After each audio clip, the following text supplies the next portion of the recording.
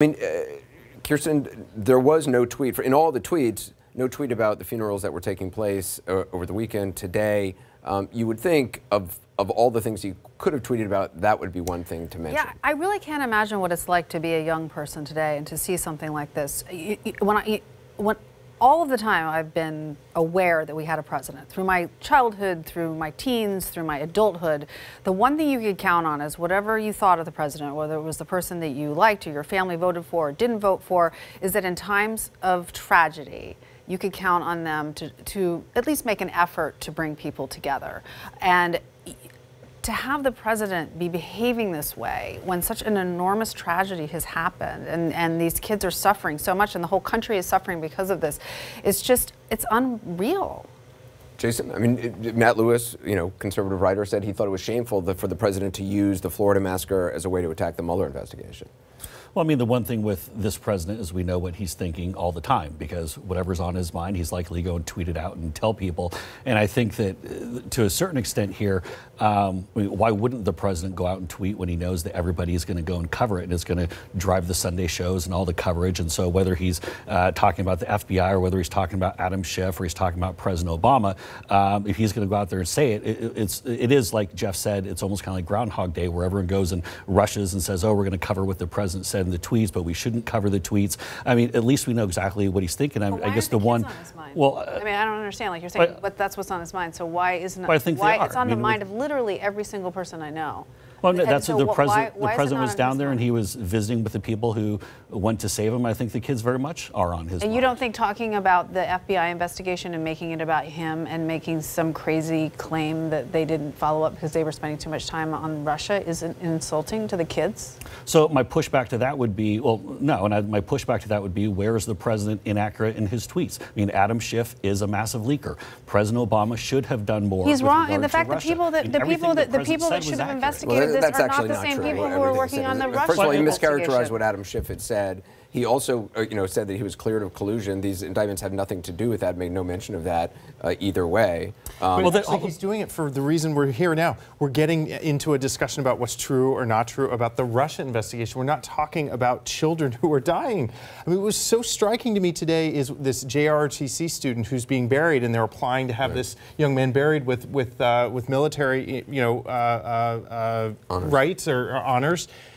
I mean, it's incredible. Dying in a combat situation in the United States, and the president won't even go to these people and meet with them. He wants us to be talking about the Russia investigation because that's where he can, you know, he can sort of pull his strings and get us fighting with each other and not solving the problem. That's exactly why he's doing I, this. I think the, the president, in, when I was in Arkansas, we had a school shooting there years ago, and Governor Huckabee appealed to the people of the state.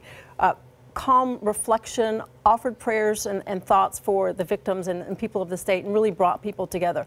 I think President Trump did a fine job with his statement he, he gave to the nation last week, but he canceled it all away this weekend by, by the, the comments that he made. This was a weekend for him and the nation to have quiet reflection, to hug your children, and to reflect on what we can do as a nation to heal and to make sure that this doesn't happen again. And for him to go uh, on and on and on about about Russia and, and speaking more about himself than offering prayers NASCAR, to these people. Oprah Winfrey. Yeah, it, I mean, it's it, this is it, that is the point I was going to make. Why doesn't the president just shut up?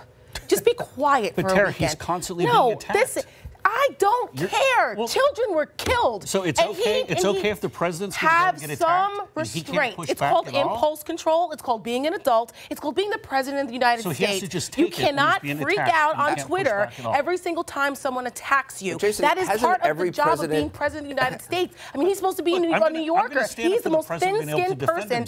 He doesn't need to defend himself all the time, constantly, especially after so a should, major national tragedy where kids died miles from his winter resort where he, he's living in luxury. And he went and visited with folks who were on this. That's great, and he, he should. That was a good thing to do, and then he should have just quietly let the weekend go by and and and allowed people to mourn, have people come together for solutions, but that's and go not through that, and then you know pick it all up on, on Saturday. Today. He was being attacked around the clock. So, so, what? That goes so with the job, Jason. it goes with the fine. job. That this again just highlights how unqualified he is with the, as as president of the United States. He does not have the temperament. You have to be able to take the hits if you're going to be president the United States, and he is unable to do it. So instead, he behaves like an insecure lunatic on Twitter, as opposed to being a mature adult as the president of the freaking United so States. Somehow I'm, so, getting, I'm so sick of you guys attacked, making excuses for so this. Somehow so, getting attacked and not doing anything in response makes you a good president?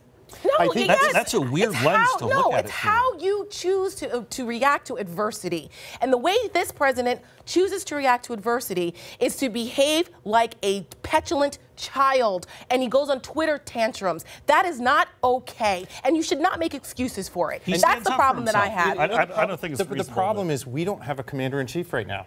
So our, we found out our country was attacked by Russia. They actually deployed agents into our country to manipulate our election and all he could do is talk about himself. We have children getting killed and shot. He can't even console the families.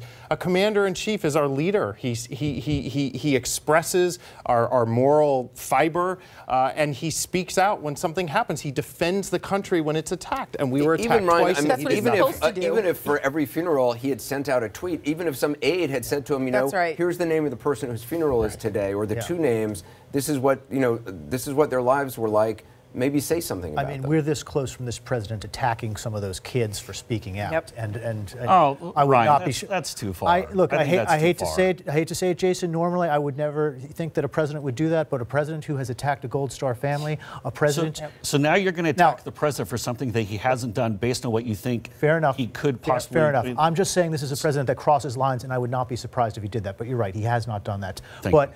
look, we, what would you do, Jason, if under Barack Obama, Putin sent a bunch of spies into the United States. They ran around, meddled in the election, illegally spent money on campaign ads, and it was all orchestrated by Putin's chef.